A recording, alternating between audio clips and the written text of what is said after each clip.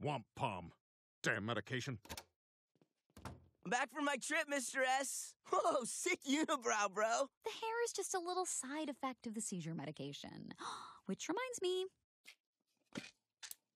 Wow, empty already. All right, I'm cured. That's not how it works, goofball. You need a refill. Oh, I'll drive him. I don't know why I said I'd drive.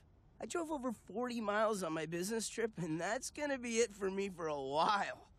By the way, I didn't really understand your text. Because that person's not my mom. That went through? Even with a crash? Wait, Mr. S, were you texting and driving? What? No! Why would you say that? Because you sent me this video right after. Ah! Oh, look, there's a Klaus. Save me texting! Okay, fine, I was. But you can't tell Haley.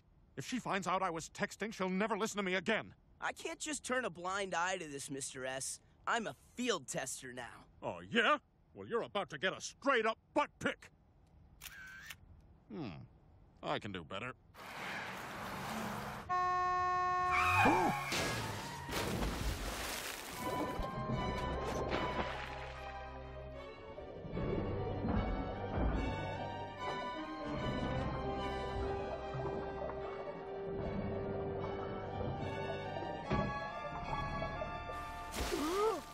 Somebody! Help my friend! Shouldn't you help him? You're right there!